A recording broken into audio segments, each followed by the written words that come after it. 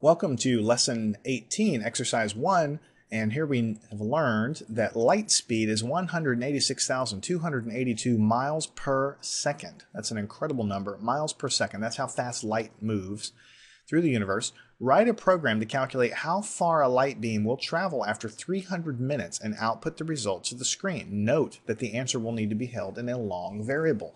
And why do you think that's the case? It's because it's such a big number and after 300 minutes, when you calculate and multiply everything, the number is going to be too large to fit into an integer. And we'll kind of play around with that and show you a little bit more why in a minute.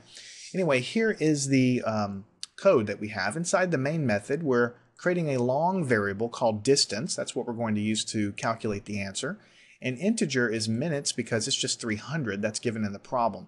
And then distance is going to be the light speed, 186,282 times the number of minutes times 60. Basically, the minutes times 60 is calculating the number of seconds. So 300 times 60, that'll be the number of seconds, times light speed in miles per second. We're going to get a distance in miles, and we're going to output the distance traveled is, however the many uh, miles the distance is, uh, and then the word miles. And you can see that I've already run this down below. We can save it, and we can run it again. The distance traveled is 3 comma uh, or 3 billion 353 million uh, 76,000 miles. Very, very large, large number. This is a number too large to fit into an integer. So let's play around with this a little bit and let me show you a couple of things about it. First, I'll get to this L in just a minute. I'll show you what that means in a minute.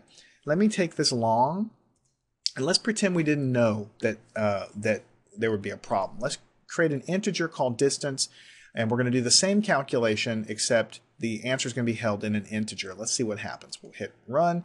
The distance traveled is negative miles. Now we know this is an impossibility because when you're multiplying a positive number times a positive number times a positive number, there's no way it can be negative. If you get nonsensical answers like that, where you're doing crazy multiplications, especially with big numbers or very small numbers or very large negative numbers, and you get a sign that's crazy weird, then it just means that you've exceeded the range of, of your variable the integer can only hold a number so big. Whenever you start calculating numbers larger than that, then what happens is things start getting truncated. The sign bit in the front of the integer starts getting used in weird ways, and so you can end up with negative number that doesn't make any sense. So this is your big clue that your calculation uh, was too large to fit in there. So the next thing that you might do is you might go up to distance and say, well, I don't need an integer, I need a long variable because we know that those can hold much bigger numbers. And so we'll rerun it again and notice the same answer appears. Now, this is where most people are going to throw their hands up and say, well, what is going on here? Because the distance is a long variable, um, so it should be able to hold long numbers. Why is this happening? Well, you've got to look at what Java's doing behind the scenes. And I admit it is a little bit confusing. This calculation here on the right hand side, 186282, is just a number. We call it a literal that we're typing in. This number 60 here is also a literal because it's a number that we're typing in. Now the default um, literal for integers is, is the integer type. So even though we want this calculation to give us a long result, when we do this, this isn't basically this is small enough to fit inside of an integer. This is small enough to fit inside of the of an integer. Minutes right here is an integer.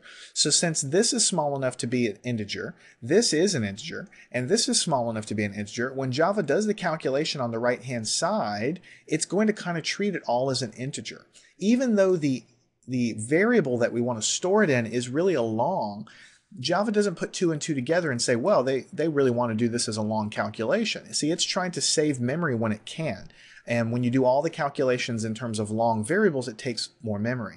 So yes, we did declare a variable that's long and that's our intention to store a big number there. But on the right hand side, all of the stuff that we're trying to calculate involve pretty small numbers. So it's going to try to do them implicitly as integers to save memory.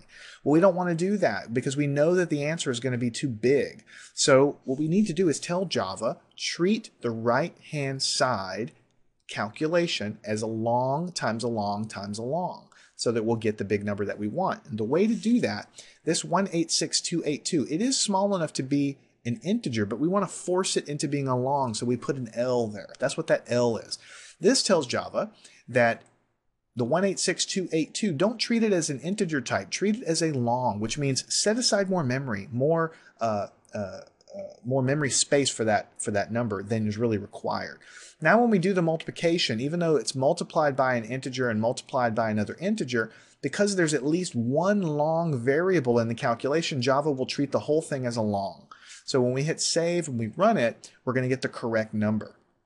So that single L here is what did the trick for us. Now notice if we delete it and we save it and run it again, we get our crazy answer. We can do the same thing to the 60. 60 is definitely small enough to fit inside of an integer, but if we just put the L over there, we took it away from here and we added it over there, it's telling Java, hey, this is a long, and since we have at least one long in the calculation, it's going to treat the whole thing as a long and give us the correct answer. So you can basically put an L anywhere next to a number where you're trying to tell Java treat it as a long calculation and it'll work. There's one more way in which you can do it. we take both L's out, we rerun it, we get our crazy answer. In front of the calculation, we're going to get into this a little bit later as well, but if I put a parenthesis and type the word long and put a space, that tells Java, it's the same thing as putting an L right here. It's telling Java, treat this number as a long and then it's then because we have at least number as a at least one number behaving as a long in this calculation, then we should get the right answer. So they're all different ways of doing exactly the same thing, and that's why I'm trying to show you this because in programming that's frequently the case. You can put an L here, you can put an L here to force it to be a long calculation, or you can explicitly cast it. This is called casting this number as a long out here and achieve the same result. In all cases, you're just trying to tell Java at least one number in there, and I could put an L over here if I wanted to. At least one number is a long, do the calculation as a long so I can get the correct answer. So this is how you do this problem. Now keep in mind that 99.9% of the time when you're dealing with integers in Java, you're going to use the integer type. Only when you have very large numbers would you need to use a long for that. So all of this business is pretty rare. You're going to have a specific instance for when you might need to do this. It's just when you have very, very big numbers. So don't stress out too much about it, but this is how you tell Java to treat things as a long when you're doing calculations.